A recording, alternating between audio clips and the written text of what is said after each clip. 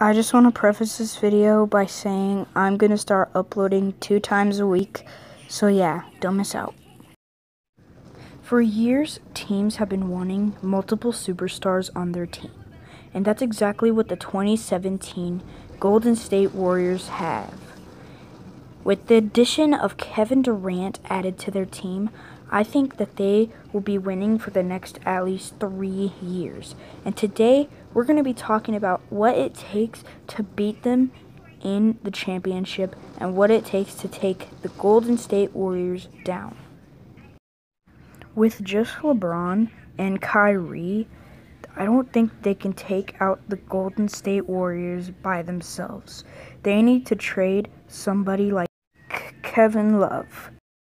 Obviously, Kevin Love is not the only player they, they have to trade to get somebody really good. They have to trade somebody like Kyrie. I know that you think that I am stupid for saying this, but honestly, Kyrie is going to leave this year, guaranteed. He does not want to be with the Cavaliers. So, with Kyrie leaving and Kevin Love, they can get a very good superstar. I think they could get somebody very good. Also, I think the Phoenix Suns are a very good runner up to beat the Warriors. Now, I know what you're thinking. Peyton, you're stupid. The Phoenix Suns are one of the worst NBA teams right now. Well, that's not that's not particularly true.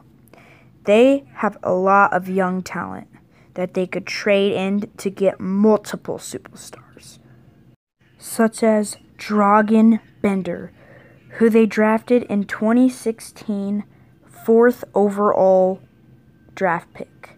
I think that they could trade him in and some other assets to get some really, really good players. Also, they can trade in Josh Jackson, who they also drafted fourth overall in the 2017 NBA draft. So, with do- these two players, they could obviously get some really good players to use. They also have a couple other young players that they could trade in, but I'm not going to mention those because this video will be too long.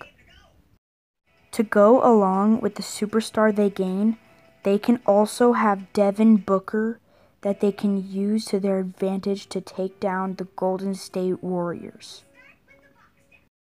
Alrighty guys, so the video is now over. Um, if you guys want a part 2, please like the video and subscribe. And if we get 10 likes on this video, if we can smash that, then I will definitely make a part 2 if you guys really do like this. So thank you guys for watching and bye.